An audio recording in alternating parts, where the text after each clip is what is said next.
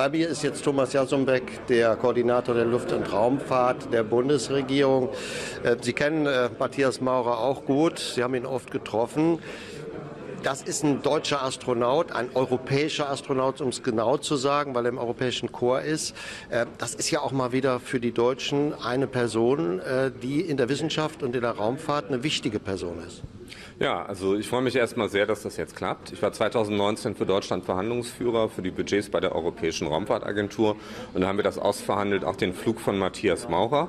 Und was ich ein sehr positives Signal finde, ist, dass er im Weltraum auf der ISS Thomas Pesquet, dem französischen Astronauten, die Hand schütteln wird und das ist ein gutes Zeichen deutsch-französischer Freundschaft. Und Matthias Maurer selbst ist auch wirklich ein außergewöhnlicher Astronaut. Er ist der einzige, der qualifiziert ist für Außenbordeinsätze mit dem russischen Raumanzug wie mit dem amerikanischen sprechen.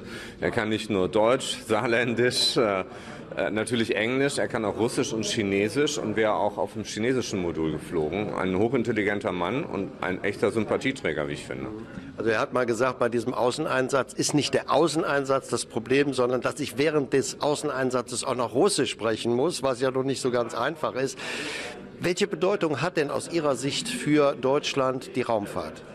Die Raumfahrt hat eine super große Bedeutung und sie wird halt mit den Astronauten immer sichtbar. Aber allein das ganze Thema Klimawandel und was wir jetzt machen wollen, halt um klimaneutral zu werden, das würde ohne Raumfahrt gar nicht funktionieren. Wir hätten ja gar kein Bild von der Erde. Wir könnten auch nicht messen, in welchen Atmosphärenschichten wie viel Methan ist, wie sich das über die Welt verteilt, Temperaturen in Meeren, das Schmelzen der Polkappen. Das ist nur ein Beispiel, ja. Und jeder, der halt sein Smartphone anmacht und mit Google Maps oder anderen Dingen navigiert, macht es halt auch per Navigationssatelliten. Und insofern ist die Raumfahrt etwas, was man nicht immer sieht, was aber das tägliche Leben unglaublich prägt. Jetzt sagen einige Kritiker, na, das ist ja toll, was ihr da macht, aber das müsst ihr ja nicht unbedingt mit Astronauten machen. Ja, noch haben wir keine Roboter, die fliegen können. Auch wenn wir mit Simon eine Art fliegende Alexa haben. In der zweiten Version jetzt auf dieser Mission gibt es ein sehr lustiges Video auf YouTube mit Alexander Gerst, wo Simon ihm irgendwann vorwirft, er wäre gemein und so. Man merkt, die Maschinen werden langsam launisch, je intelligenter sie werden. Und das ist für uns auch ein wichtiges, ein wichtiges Element. Aber der Mensch selbst, sagen auch manche, ist das größte Experiment. Also was tut das mit dem Menschen? Wie verändert er sich? Und natürlich gibt es ja auch die Pläne, auch zum Mars überzusiedeln. Und das alles werden wir auch tatsächlich wirklich im erdnahen Orbit austesten. Jetzt haben wir so immer im Kopf äh, den Film 2001 und da gibt es dann den Streit zwischen Computer und dem äh, Astronauten. Wenn wir mal in eine solche Situation kommen, dass wir überlegen müssen, wollen wir lieber einen Astronauten haben oder lieber den Computer leiten, äh, uns leiten lassen? Ja, ich mache ja auch noch digitale Themen und ich glaube, mit der künstlichen Intelligenz, der Superintelligenz, Singularity, diese Diskussionen wurden in den letzten Jahren geführt. Werden die Maschinen irgendwann schlauer als wir? Aber ich glaube, viele, die heute Maschinen bedienen, haben den Eindruck, dass sie noch nicht ganz so schlau sind. Und insofern ist das ein Thema, das steht uns noch weit bevor. Ich glaube, Maurer ist jetzt ein super Astronaut und Gerst auch, unsere beiden in dem Chor. Und wir haben ja noch weitere Themen. Die Frage wird ja sein, wer geht denn eigentlich auf den Mond? Wenn die Amerikaner jetzt zum Mond fliegen, wir liefern übrigens für das amerikanische Mondraumschiff die Technologieplattform, also das halbe Raumschiff kommt aus Bremen. Und äh, da werden natürlich zuerst amerikanische Crews fliegen, aber da werden auch Europäer dann dabei sein. Und ich bin sehr dafür, dass wir uns hier auch anstrengen, dass das Hand am Ende auch einer von den beiden wird, Gerst oder Maurer, die dann halt als erste Europäer den Fuß auf den Mond setzen. Herr Hilzenberg, danke schön, dass Sie bei mir waren. Andreas Mattfeld ist bei mir, Bundestagsabgeordneter und Mitglied des Haushaltsausschusses. Wir haben gerade gehört, er bekommt saarländisches Essen. Das ist ein kleiner Teil des Budgets. Der größere Teil, den verwalten unter anderem Sie. Da geht es um unglaubliche Summen. Also wenn wir schauen bei der ESA, das sind 400 Millionen pro Jahr alleine für die ISS. Wie rechtfertigen Sie das?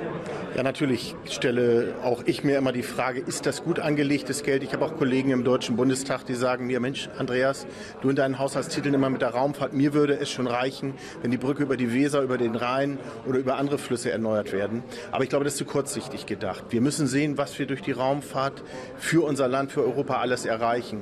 Und Kollegen haben es bereits erläutert. Ohne Raumfahrt sind viele Dinge nicht machbar. Von Navigation angefangen über äh, Klimapolitik bis hin letztendlich auch zur Ernährung unserer Welt, sprich Landwirtschaft.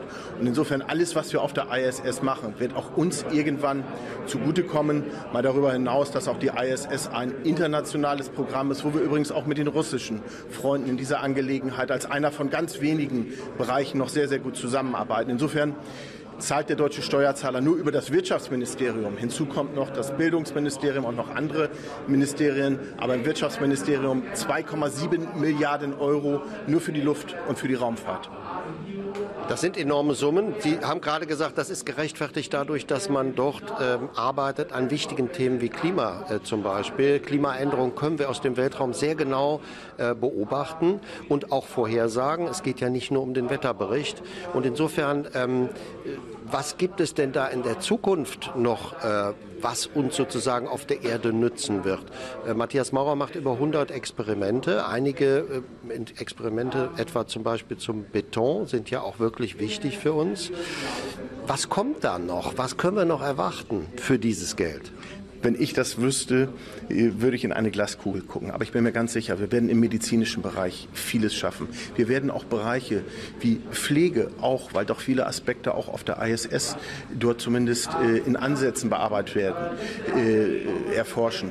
Wir werden dann, und das habe ich angekündigt, auch im Bereich der Landwirtschaft vieles machen, denn wir dürfen nicht vergessen, dass es immer noch Abermillionen von Menschen gibt, die Hunger leiden auf der Erde. Das sind alles elementare Dinge, wo auch die ISS dazu beitragen kann, als unsere stationäre Station äh, in der permanenten Beobachtung übrigens mit Menschen äh, vor Ort äh, zu erforschen und dann das Ganze auch weiterzutragen hinterher in Projekte, die auch hier in der Erde, auf der Erde umgesetzt werden.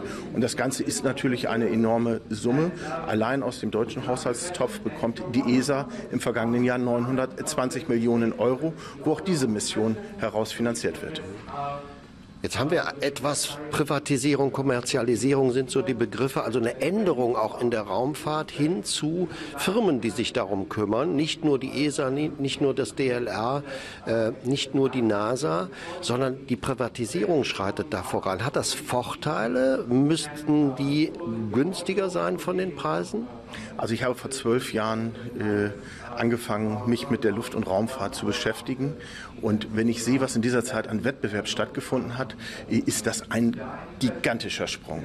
Ich bin sehr froh, dass wir diesen Wettbewerb heute haben, denn hätten wir ihn nicht, würden wir auch in der Kostenerwartung oder Kostenexplosion heute an ganz anderen Stellen ansetzen, als da, wo wir heute sind. Der Wettbewerb führt letztendlich dazu, auch als Vorteil für den Steuerzahler, dass diese Raumfahrt günstiger wird im letzten Aspekt. Und Wettbewerb belebt hier immer das Geschäft.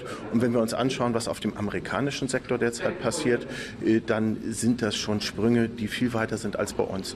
Und wenn wir bei uns schauen, was wir gerade im Bereich von Microlauncher, von kleinen Startraketen haben, da wird sich im nächsten Jahr oder in den nächsten Jahren richtig was tun. Auch das ist positiv letztendlich für den Steuerzahler, weil es in der letzten Konsequenz dazu führt, dass Raumfahrt auch immer ein Stück weit günstiger wird. Wir haben ja so ein bisschen den Eindruck, das, worüber im Augenblick gesprochen wird, ist, äh, dass so ein paar Milliardäre in den äh, Weltraum fliegen und sich mal so ein bisschen in der Schwerelosigkeit umtun. Das kann aber nicht Ziel äh, der privaten und kommerziellen Raumfahrt sein. Wie kann man das miteinander verbinden? Wie kann man das miteinander verbinden? Zunächst einmal ist das, ich sage es mal, eine Sache, um die Raumfahrt auch in den Blickpunkt der Öffentlichkeit zu rücken. Das ist immer noch Hochtechnologie, das ist auch immer nicht irgendwie etwas, was man mal eben so nebenher macht. Insofern äh, ist das sicherlich äh, als, ja, ich sag's mal, Werbeeffekt eine tolle Sache. Aber wir wollen ja etwas schaffen, nicht nur für ein paar Millionäre, Milliardäre auf dieser Welt, sondern wir wollen etwas schaffen, dass auch Lieschen Müller bis ins letzte Haus davon einen Vorteil hat. Wie das letztendlich in den kommenden Jahren geht, das ist natürlich nicht meine Aufgabe als Haushälter. Da wird unser Deutsches Luft- und Raumfahrtinstitut arbeiten, da wird die ESA arbeiten und da sind wir mal sehr gespannt, was sich da in den nächsten nächsten Jahren tut. Wir haben ja viele Dinge vor, ob das die Raumstation ist, bis hin jetzt auch zu den Mondmissionen. Danach wollte ich gerade fragen, wenn man jetzt den nächsten Schritt geht, nämlich die sogenannte Gateway äh, hin zum Mond, wird das dann noch teurer? Das wird sicherlich Geld kosten. Äh, wir sind dabei mit dem Modul, äh, dem deutschen Modul für die Orion-Mission. Äh, darauf sind wir sehr stolz. Was es letztendlich kostet, da sind wir in den nächsten Jahren sehr gespannt. Bislang habe ich noch kein Preisschild bekommen. Ganz herzlichen Dank. Wir haben gerade gesehen, Andreas, ja, drüben wird die Pressekonferenz vorbereitet und in die gehen wir jetzt live rein. Dankeschön. Bitteschön.